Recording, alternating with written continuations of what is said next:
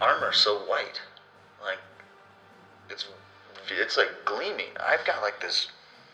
I don't know what that is. Like kind of a grease thing.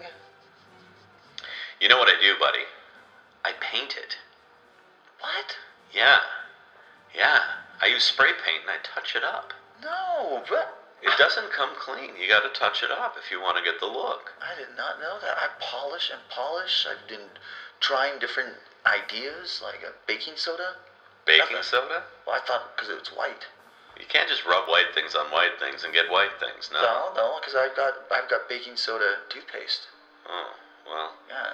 it's not officially kosher with the regulations, you know? This is the kind of thing Vader will choke you out for. I know we're supposed to use space paste, but I just I, I just wanted you know it's supposed to remove stains. Uh, Not that anyone can see. You've got the helmet on all the time. So If you want the look, you gotta repaint it. Okay, alright, I'm gonna give that a shot. Yeah, give it a shot, mister.